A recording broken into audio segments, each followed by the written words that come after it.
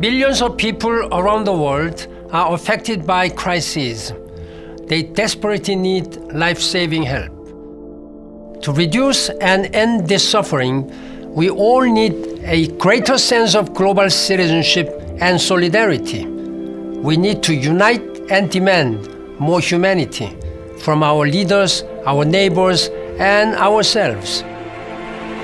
On this World Humanitarian Day, I call on you to join our campaign for a more humane world. And I ask you to remember the aid workers who have sacrificed their lives to help others.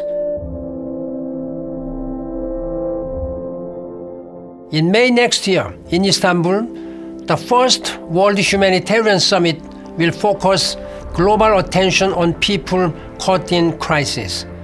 It will generate bold new ideas for meeting today's tremendous humanitarian challenges.